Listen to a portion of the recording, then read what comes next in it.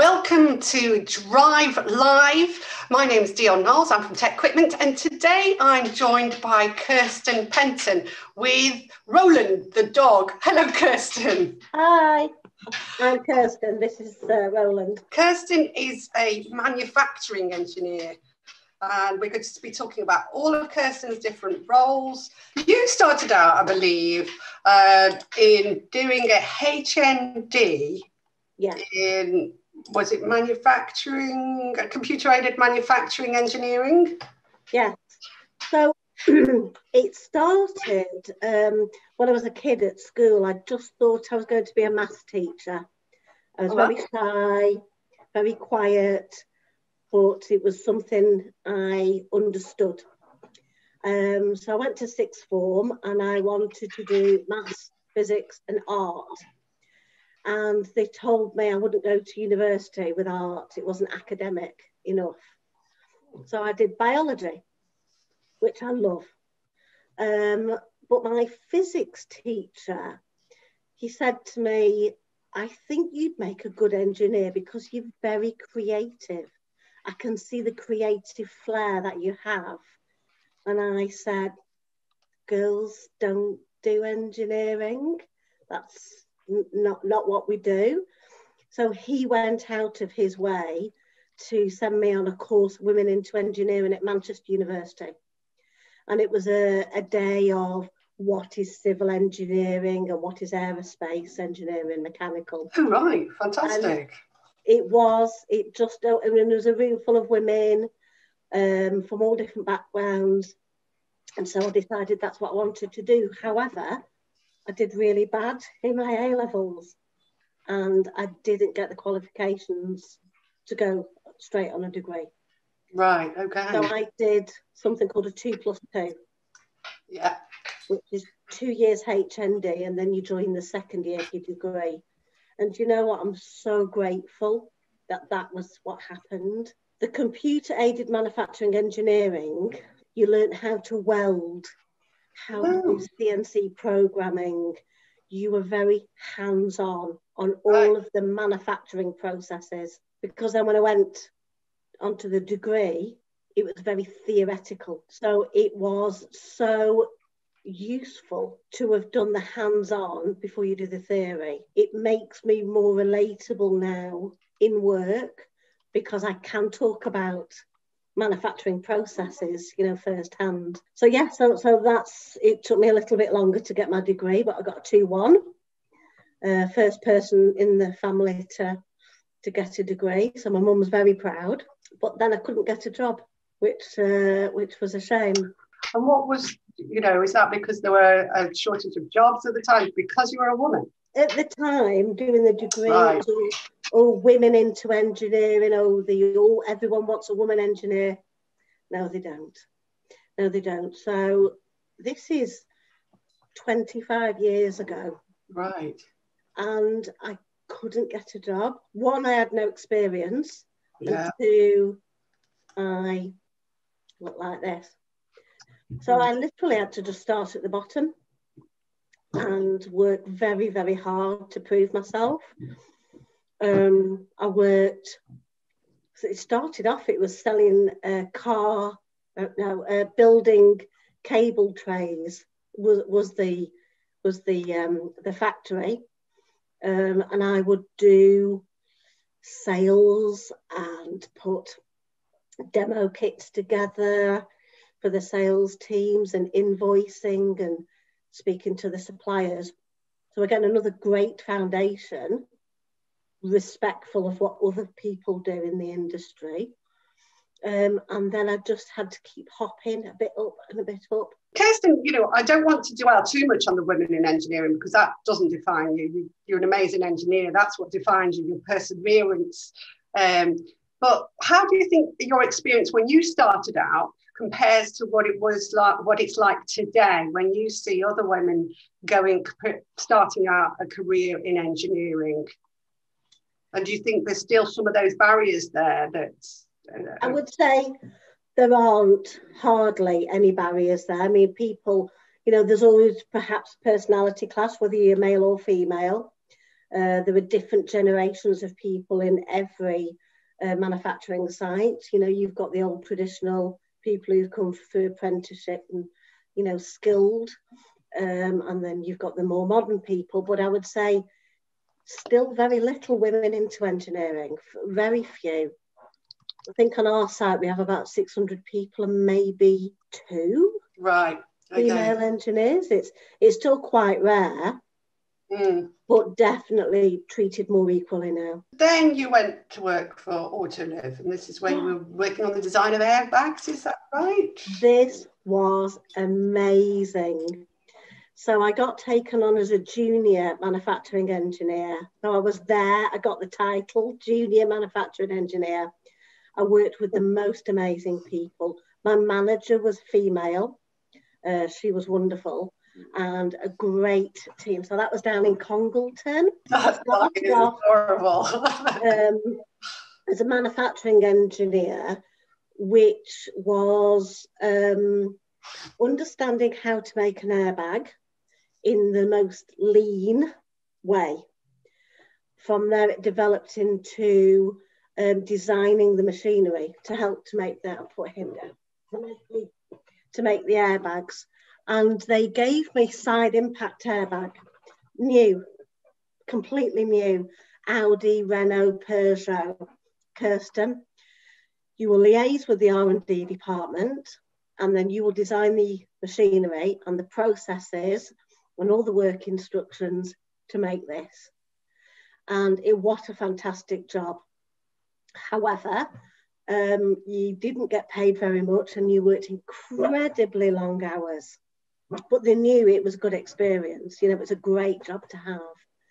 And what I found was um, having to work with the guys on the shop floor because they were having to use the machine. So very much about the ergonomics and the usability. And then I was learning all schematics and how machines work, which was really interesting.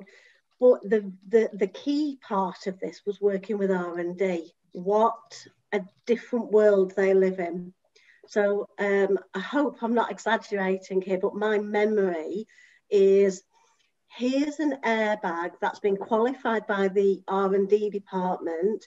You now take that to full production will need a thousand a week. And here was these two bits of fabric held together with staples, Pritt stick, Blu Tack. Okay, go and make that productionized. So they had qualified the design, you know, they're very, very clever people, but never thought about how are we actually going to make this? Yeah, everything was hand sewn, handmade, and to go into a full production line was it was so disjointed. Kurt, of course, we learnt a lot. So then I asked to transition. I asked to be the manufacturing engineer, but working in R&D. They would, you know, we, we would be now in the same building, in the same room, and they'd be walking around with all these like bits of paper and bits of fabric.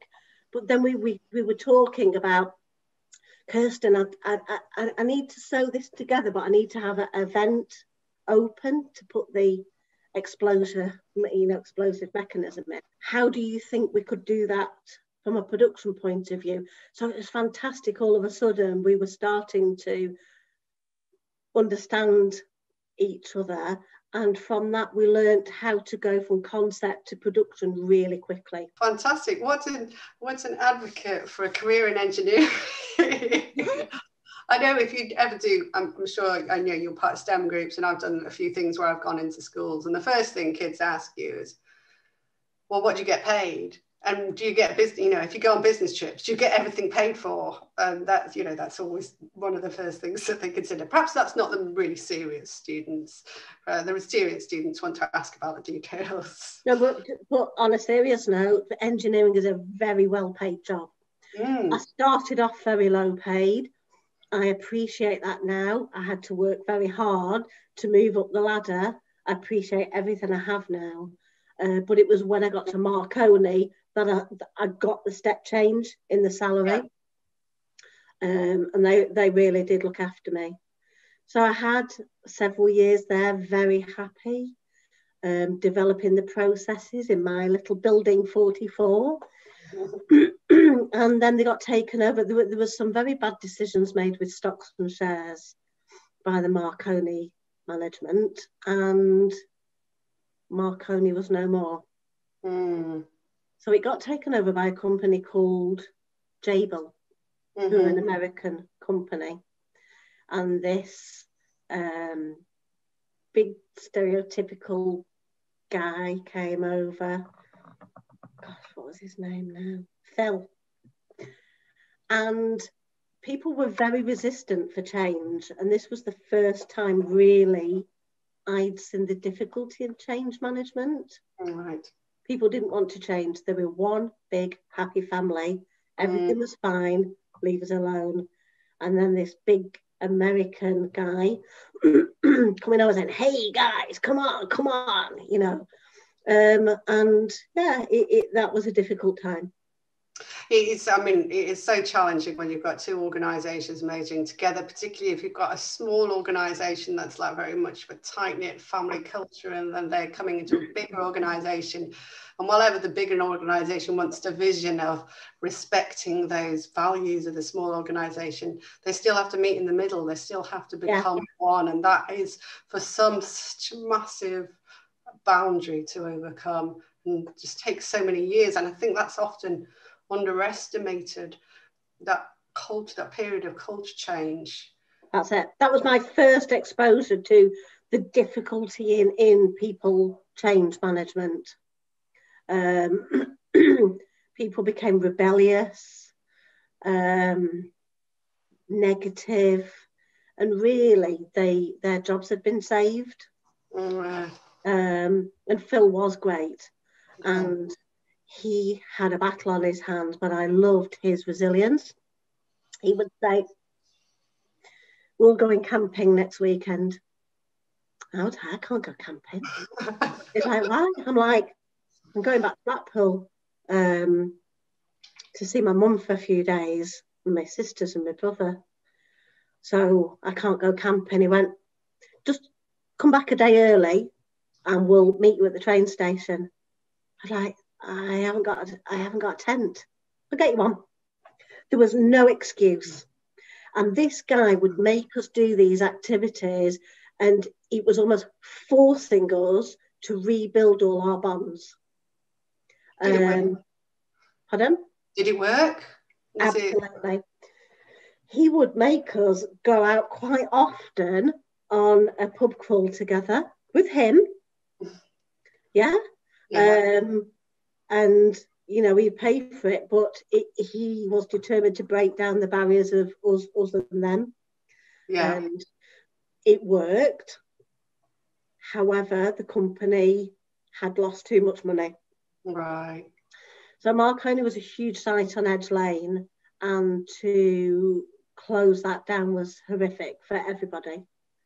Mm. but the the mother company was in coventry Right. And so I was asked, would you take these robots down to Coventry and set them up?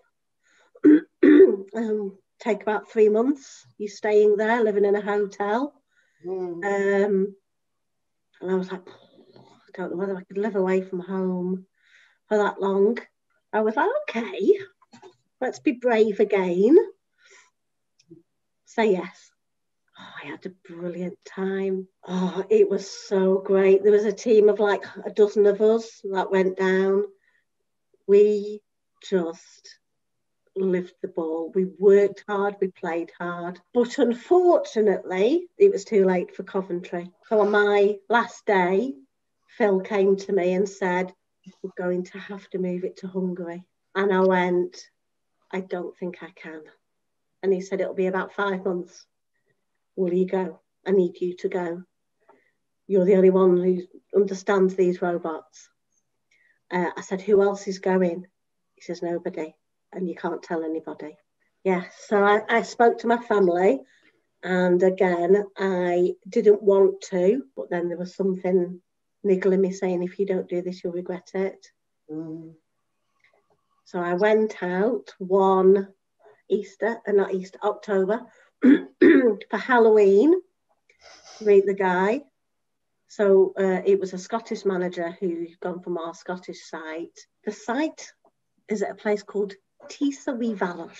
It was two and a half hours drive out of Budapest. And you were going down the motorway and then it just turned to a dirt track. And then you went for about another hour and you ended up at this little tiny village that looked like it'd been built in the 1960s. Beautiful factory in the middle of it with marble floors. It was beautiful, but it was so cold. I went there. It was um, Halloween. I got invited to the manager's house for a Halloween party, very welcoming. So I stayed eight months. I absolutely loved the opportunity to work with a different culture set of people. I represented this part of my career as a Trabant car because yes. that's mainly what they drove. Yes, yeah. Um, very simple, humble lifestyle. And well, for Amelia, who's we've got Amelia Lowry who's on, uh, who's watching, and she says, uh, I think she's ha- she's had to really struggle as a start out. Yeah. Um, she was told she only got the job because she was a girl because they needed to sort out the diversity. Yeah. And now she's worked for a year and proven herself. Um, and kind of working on a part time on a on a final year degree. But I think that's quite heartening what your experience because you said yeah it was really hard to go in there to start with, but it's actually through perseverance and people looking beyond the agenda. Uh, they've been able to give you the, all these amazing opportunities and recognize yeah. your talent. And you've just got to be brave and say, do you know what, I'll give it a go. And it's about your energy, your enthusiasm, your ability to communicate with all different levels, yeah. I would say is key. Yeah. Um, you know, I, at the beginning of my career, I was knocked back a lot. Yeah. Failed my A levels, had to do a HND, you couldn't get a job. But you know, it's given me the confidence now to to be a better person because I've, I've almost worked from the bottom up. You know, whenever I start a job, I always ask to learn the job that the operators do first. If you don't get buy-in from the people who are going to not work for you but take on your processes, if you don't get them involved, then it's not sustainable. If you're going to go into engineering, I recommend that you do look into. Oh, sorry, here's the dog. um, creative problem solving methods. And also, um, I would say Lean Six Sigma changed my life. Right. Um, I run my whole life now as a DMAIC project.